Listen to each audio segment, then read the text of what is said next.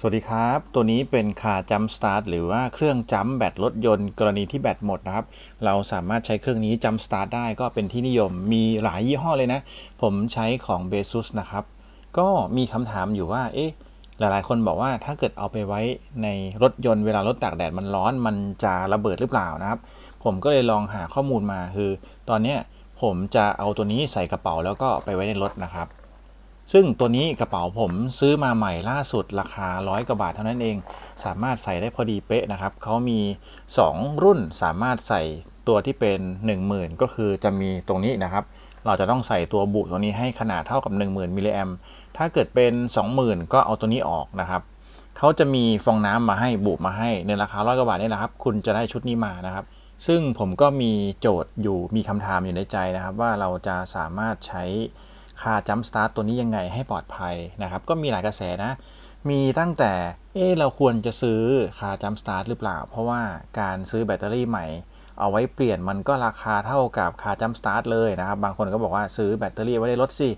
เป็นแบตเตอรี่ใหญ่นี่แหละ เอาไว้ในรถเลย มันทนความร้อนได้นะครับ ก็เป็นไอเดียหนึ่งนะ แต่หลายๆคนก็มองว่า เอ๊ถ้าแบบเนี้ยมันก็ไม่สะดวกนะ ก็ซื้อจัมสตาร์ทดีกว่าในราคาที่ประมาณพันต้นๆ โดยส่วนตัวผมเนี่ยเลือกที่จะซื้อคาจัมสตาร์เนื่องจากว่าเราสะดวกกว่าพกง่ายกว่า ไม่จำเป็นจะต้องเอาไว้ในรถเสมอนะครับ ผมลองหาข้อมูลของตัวเบซุสคาจัมสตาร์นะครับเขามีเขียนระบุไว้ส่วนหนึ่งว่า เขาสามารถรองรับอุณหภูมิได้ที่ความปลอดภัยลบ 20 องศาถึง 60 องศานะครับ เข้าใจว่าตรงนี้เป็นอุณหภูมิภายนอกนะ ผมก็เลยหาข้อมูลอื่น ๆ เพิ่มเติมว่าปกติแล้ว อุณหภูมิภายในรถตากแดดมันเท่าไหร่ ผมก็มาเจอว่าหากจอดรถกลางแดดในวันที่อุณหภูมิภายนอกรถร้อนถึง 37 องศานะครับ อุณหภูมิภายในรถอาจจะถึง 60 องศาเลยทีเดียว รวมทั้งเว็บอื่นๆนะครับ อุณหภูมิเฉลี่ยปกติแล้วหน้าร้อนเนี่ยก็อยู่ที่ 37-40 องศา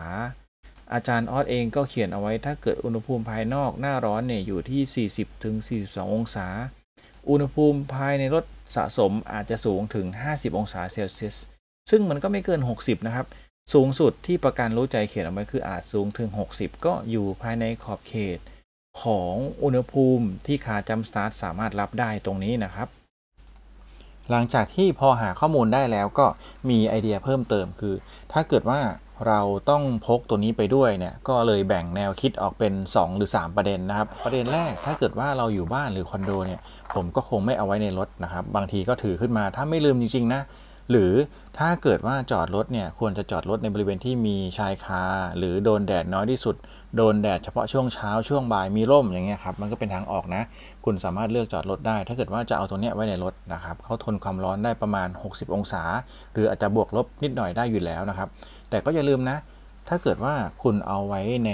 บริเวณที่ร้อนบ่อยๆ เนี่ยเขาก็บอกว่าถ้าเกิดอุณหภูมิมากกว่า 50-60 องศานะครับ มันจะทำให้แบตเตอรี่ภายในตัวนี้เสื่อมเร็ว อันนี้ก็เป็นเรื่องปกติของแบตพวกลิเธียมไอออนหรือแบตเซลล์ต่างๆ แต่ละรุ่นแต่ละยี่ห้อนี้เขาก็จะเขียนกำหนดอยู่แล้วว่า ถ้าเกิดโดนความร้อนบ่อยๆ เนี่ยแบตมันจะเสื่อมเป็นเรื่องปกตินะครับ คุณก็เลือกวางไว้ โดยปกติแล้วจุดที่เราต้องระวังก็คือตัวนี้แหละ ซึ่งตัวนี้จะมีแบตเตอรี่อยู่นะครับ แบตเตอรี่พวกนี้เขาออกแบบมาให้ทนความร้อนอยู่แล้ว ตามสเปคของตัวอุปกรณ์เขาก็เขียนชัดเจนตามหน้าเว็บที่ผมโชว์ไปว่า สามารถทำงานได้ไม่เกิน 60 องศานะครับ ถ้าเกิน 60 เนี่ย ผมก็เชื่อว่าน่าจะอยู่ได้อีกนิดหน่อย แต่มันก็อันตรายแล้วครับ เป็นจุดที่ความเสี่ยงนะ ก็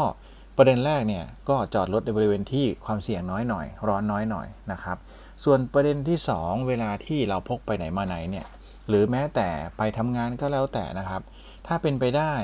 จุดที่วางนะครับ ควรจะวางไว้บริเวณที่แดดส่องไม่ถึงในรถนะครับ ส่วนบริเวณที่แดดส่องไม่ถึงก็คือพวกใต้คอนโซลหรือบริเวณใต้เบาะก็แล้วแต่นะครับ ปกติแล้วความร้อนมันจะอยู่นอกรถ หรืออยู่บริเวณกระจกรถนะครับ มันจะอาจจะลงมาไม่ถึงบริเวณใต้เบาะ หรือบริเวณใต้เบาะด้านหลังด้วยซ้ำไป บริเวณที่เก็บของประมาณนี้ครับ มันก็จะอยู่ประมาณ 50 องศาถึง 60 องศานะ มันจะไม่มากกว่านั้นนะครับ ก็เป็นไอเดียหนึ่งของการพกพา แต่ก็ควรจะให้น้อยที่สุดนะครับ ประเด็นสุดท้ายเนี่ยผมก็คิดไว้เหมือนกัน แล้วก็ลองคิดถึงความเป็นไปได้โอกาสที่น่าจะเกิดขึ้นนะครับ ก็คือเวลาที่เราไปทำงานโรงงาน หรือไปลูกค้าหรือไปอะไรก็แล้วแต่ หรือแม้แต่ไปเที่ยวที่เราจำเป็นจะต้องจอดรถตากแดดนอกชายคานอกอาคารนะครับ ปกติแล้วมันร้อนแน่ๆถ้าเกิดเราจอดตั้งแต่เช้าจนถึงบ่ายนี่ยครับ สิ่งที่เราทำได้ ต้องบอกก่อนว่ามันเป็นความเสี่ยงแน่ ๆ ที่มีโอกาสโดนความร้อนนะครับ ก็เลยจำเป็นจะต้องมีถุงตัวเนี้ยซึ่งมันจะสามารถที่จะเก็บความเย็นไว้ระดับหนึ่งคือความร้อนมันจะเข้าไม่ถึงนั่นเอง แสงเข้าไม่ถึง แต่เราก็ต้องวางในบริเวณที่มันไม่โดนแดดนะครับ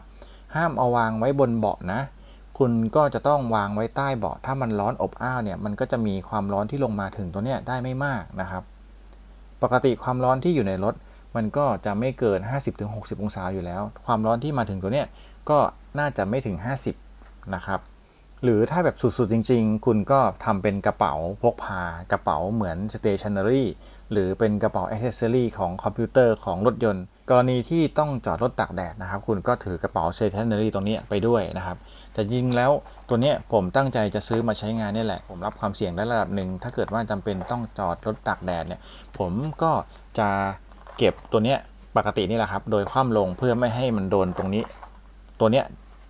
อาจจะทำให้บริเวณด้านหน้าตรงนี้เป็นรอยแล้วไม่สวยนะผมก็คว่ำแบบนี้ แล้วก็ผมก็ปิดกระเป๋าตรงนี้เขาออกแบบมาให้สำหรับคาจัมสตาร์ทรุ่นนี้นะครับ แล้วก็รุ่นใหญ่กว่านี้นิดหน่อยนะครับ ผมก็จะเอาไว้แบบนี้แล้วก็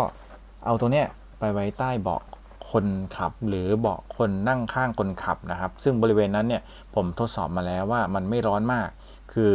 เวลาที่ตากแดดเยอะๆเนี่ยบริเวณนั้นมันก็จะร้อนพอสมควรนะ แต่ว่าอากาศภายในมันมันบนไปวนมาได้ระดับหนึ่งนะครับ ก็ถือว่าเป็นรุ่นที่เขาออกแบบมาให้รับความร้อนได้สูงระดับหนึ่งนะครับ ตัวนี้ก็ถือว่าปลอดภัยได้ จากข้อมูลที่ผมหามานะ แต่สุดท้ายแล้วเนี่ยขึ้นอยู่กับว่าคุณรับความเสี่ยงได้มากน้อยแค่ไหน ถ้าคุณไม่มั่นใจหรือไม่สบายใจก็เอาลงจากรถไปด้วย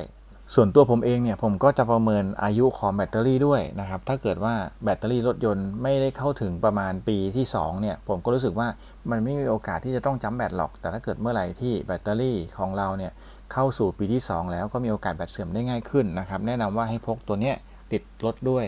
จริงๆ ถ้าเกิดว่าไม่อยากซื้อคาจัมสตาร์ทเนี่ยคุณก็ลองประเมินแบตดูก็ได้นะครับ แบตเตอรี่รถยนต์เนี่ยอยู่ในช่วงอายุที่อันตรายคือมากกว่าปีครึ่ง ถึงประมาณ 3 ปี ถ้าเกิดเกิน 3 ปีนี่ผมว่าเปลี่ยนเถอะนะครับ ถ้าเกิดว่าอยู่ในช่วงปีครึ่งถึงประมาณ 3 ปี ถือว่าอยู่ในความเสี่ยงที่มีโอกาสจำเป็นจะต้องจัมสตาร์ทนะครับ ก็ประเมินแบบนี้ก็ได้นะ ค่อยซื้อจัมสตาร์ทแต่ถ้าเกิดว่าปีครึ่งแล้วหรือ 2 ปีแล้ว ก็ได้โอกาสเปลี่ยนแบตคุณไม่ต้องรอครับ ถือว่าเป็นการซื้อความเสี่ยงแบตเตอรี่รถยนต์อยู่ที่ประมาณ 1,500ถึง2,500นะครับคุณก็เปลี่ยนแบตเตอรี่ไปให้เรียบร้อย ก็ถือว่าสบายใจไม่ต้องการใช้ car jump start หรอกครับ ไม่ได้จำเป็นนะครับ แล้วก็อีกอย่างหนึ่งคือคุณเปลี่ยนหลอดไฟในรถเป็น LED นะครับ แล้วก็ใช้รถหรือซื้อรถรุ่นที่มีระบบ auto คือปิดไฟหน้าอัตโนมัติซึ่งรถทุกวันเนี่ยครับเขาปิดไฟหน้าอัตโนมัติอยู่แล้ว ถ้าเกิดว่าตรวจสอบเจอว่าคุณลืมปิดไฟหน้า พอล็อกรถเนี่ยเขาจะปิดไฟหน้าอัตโนมัติอยู่แล้ว รถผมก็เป็นนะครับ ฉะนั้นเราไม่มีโอกาสที่จะเปิดไฟในรถเอาไว้จนแบตหมด นะครับ แล้วก็อีกอย่างหนึ่งไฟเพดานของรถยนต์ แนะนำว่าเปลี่ยนเป็นหลอด LED ซะนะครับ ปกติแล้วหลอดไฟเพดานรถยนต์เนี่ยจะมาพร้อมกับหลอดไส้ 8 วัตต์นะครับ เราเปลี่ยนเป็นหลอด LED 1 วัตต์ มันจะทำให้ประหยัดไฟได้มากขึ้น ตามที่ผมเคยรีวิวไปทำให้เรา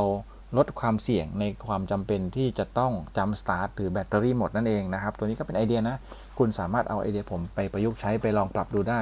ลดความเสี่ยงที่จะเกิดขึ้นจากการใช้งานไฟ รถยนต์แบตเตอรี่รถยนต์จนหมดนะครับคุณก็ไม่จำเป็นต้องซื้อ car jump start รุ่นนี้นะครับแต่ถ้าเกิดว่าเอาสบายใจก็ซื้อมาติดรถไว้ก็ดี แล้วก็ทำตามกระบวนการลดความร้อนที่มีโอกาสเกิดขึ้นทำให้ตัวนี้ระเบิดนะครับ คุณก็ใช้ตัวนี้ได้อย่างมีความสุขแล้ว ปลอดภัยดีนะครับ อย่างผมเนี่ยผมซื้อมาซื้อมารีวิวด้วย แล้วก็เอามาเตรียมตัวไปเที่ยว ผมก็จะมีตัวเนี้ยสำรองไว้ให้สบายใจมากขึ้นนะครับ ถ้าเกิดว่าท่านใดมีคำถามคอมเมนต์ไว้ได้เลย มีข้อเสนอแนะก็คอมเมนต์เอาไว้เช่นเดียวกันนะครับสำหรับคลิปนี้ขอบคุณที่รับชมครับ สวัสดีครับ